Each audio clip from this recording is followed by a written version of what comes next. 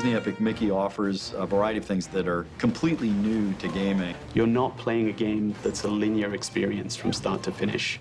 You're playing through a story, and you get to actually affect that story with your actions. Doing a, a mixed genre game like Disney Epic Mickey does provide for a variety of audiences to, to jump into and find their game. It's totally crafted for the player, and I think there is an entire generation of people out there who haven't really had that experience yet, and it's going to blow their minds.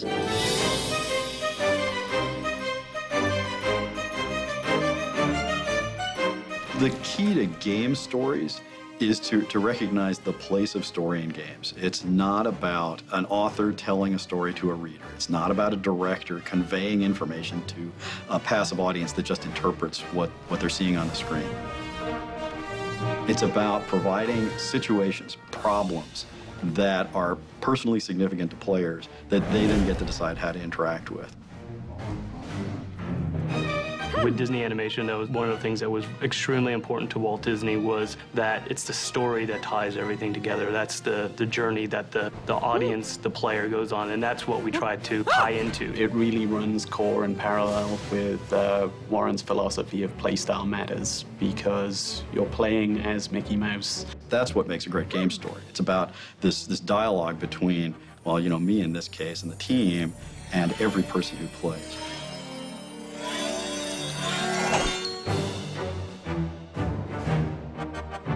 Getting the opportunity to, to visit, you know, the Disney archives and just look at how much information has been stored over these past 80 years is mind-blowing. This is 80 years of history sort of together in one piece for the first time that players can interact with. There's a lot of stuff there. There's enough there for a 100 games.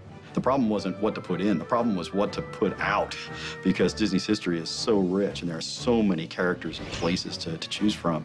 Uh, the weeding out process was a nightmare. The whole story around Disney Epic Mickey is about remembering these forgotten characters. And not only is Mickey doing that, but the player is doing that as well. And so their role kind of became this unique and interesting part of the story in the game because as you, the player, go through, you're learning about characters that you may have never seen before in the Disney archives. And now you're remembering them as well as allowing Mickey to remember them. In Oswald's case, we had to remind people what his personality was like, what his abilities were, uh, what made him one of the most popular stars in, in, the late 20s. For some of the other guys, you know, it was really, they're kind of foils for Mickey. They're ways to remind Mickey that even he's forgotten his old friends. We've got a character who himself has forgotten characters like Clarabelle Cow and Horace Horsecollar and the Mad Doctor and uh, Gus the Gremlin. Those are characters that, that, in some cases, he interacted with a bunch in his early cartoons. And so we get to have him play the role of the, the player. So we can show kind of the sadness of the, the characters who have been forgotten by Mickey and, and by the player and use them to evoke some emotions in the, the player that uh, I think will enrich the experience. Disney Epic Mickey is, in a really strange sense, a history lesson. I hope nobody perceives it that way. I don't want people put off by that. But at the end of the day, players are going to learn something about Disney's creative past. Disney fans in particular, I think, are going to have a great time playing the, the Where Did That Come From game. Because almost everything in the game is inspired by something real.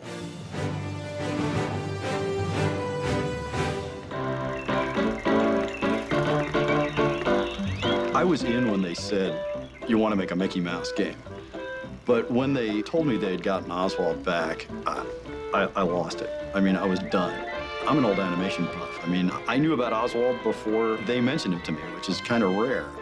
And when they said, you're going to have the opportunity to present Oswald on screen in a new Disney story for the first time since 1928, I mean, what an honor. Well, Oswald the, the Lucky Rabbit was Walt Disney's first cartoon star, and he, he predates Mickey, of course. Those cartoons that Walt Nub made were, they were little gems of storytelling.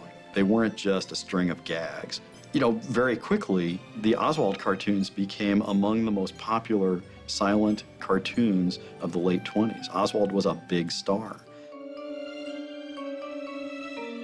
There are all sorts of stories about how Mickey was created, but he was created only because the rights to Oswald had been lost. That's the tragedy of Oswald. Uh, he, he, really was poised to be the most successful and popular cartoon star in the world. Uh, but uh, Mickey came along, and uh, the rest is history.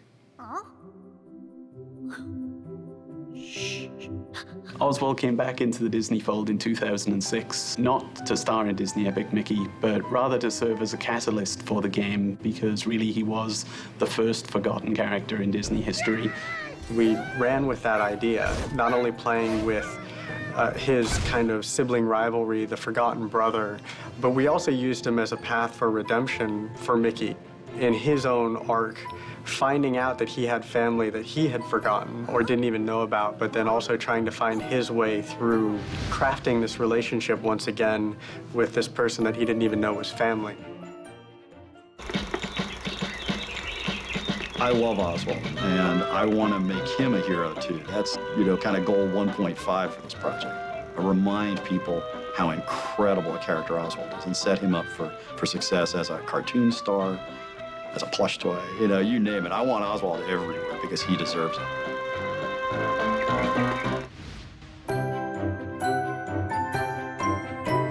Mickey in stillness is obviously Mickey. I mean, any combination of three circles is identified as Mickey by almost everyone on the planet. But Mickey in motion is what makes Mickey. The way Mickey moves is critical.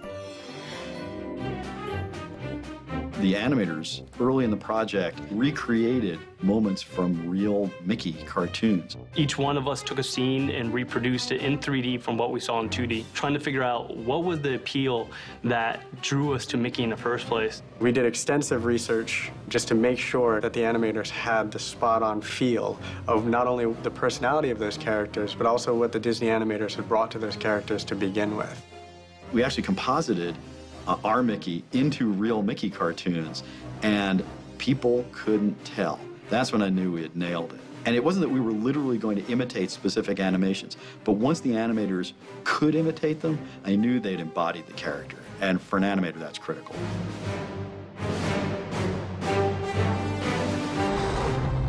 When we go back and we talk about remembering these characters, we wanted them to be remembered in the light that they were originally introduced. The animators on this team did a great job in bringing that to the game and to the player. I look at the game and I just think we've captured the essence of Disney animation in a game.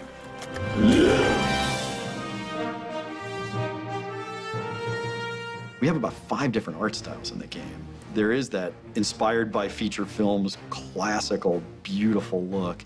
There is the short subject look in the 2D platforming sections. But we also have CGI, intro and endgame, really, you know, computer rendered graphics. A lot of our storytelling moments are told in a style that, that looks like uh, storyboards or concept art brought to life. There are all these different styles coming together, but in a game that's supposed to be a mashup of 80 years of Disney history, why shouldn't the art style be a mashup too? It took us a little bit to get our head wrapped around, you know, how we wanted to mash up some of these inspirations, you know, the, the Haunted Mansion from every different park, as well as, you know, the Lonesome Ghost cartoons. How do those fit together? Different animators from different periods animated differently. So we had an interesting challenge of how to merge all the different styles together. You know, stylistically, you can, you can figure that out, but from a game design standpoint, the characters that you're going to use and the mechanics and the gags from the old films and the rides, and, and how do you put these together in an interesting way that's going to keep the player pushing through to explore all of the little nooks and crannies to find out where those inspirations lie. I'm hoping people will accept that because most games go for a consistent, you know, style start to finish. And I very specifically didn't want to do that. I wanted to be inspired by a variety of Disney styles because we had a variety of Disney styles to draw from.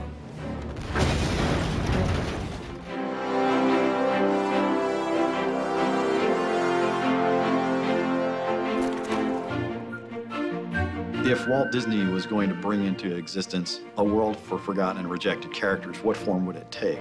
It's going to be his fondest dream, which is to build this park where adults and kids can experience joy together and where his characters, his creations, can live forever. So this was essentially taking that same aspect of the cartoon characters who are forgotten or rejected and applying it to Disneyland. So rides that are rejected, animatronics that are rejected, shops that are rejected, pretty much anything that was in Disneyland or was even considered for Disneyland ended up becoming part of Wasteland. There were a variety of things that we drew direct inspiration from. The first one actually was uh, a location called Mean Street. I knew that I needed an instantly recognizable place. And so Main Street USA, that iconic image that we all have burned in our brains from early childhood, that image had to be in the game and it had to be slightly warped. It really kind of falls into this world of wasteland being something that people can identify with and feel very familiar and comfortable, but at the same time, it doesn't quite match up to uh, reality. And of course, that's as intended.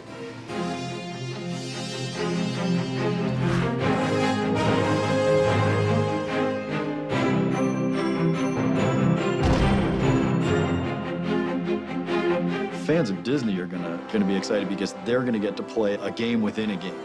It's a huge game for one, but every level, every object in the game world, every character has a source of Disney inspiration behind it. We've embedded so many of these things in there that we're expecting Disney fans to go in and point out the things that are similar to the park and to the archive characters. Even if they're fans of modern Disney, they will recognize, like, oh, those are the hallmarks that everything else has been built on. This is where it came from. You could do nothing but explore in this game and discover things that you might remember, you might want to look up, but they're all grounded in the history of Disney, which is fantastic and great thing to be a part of.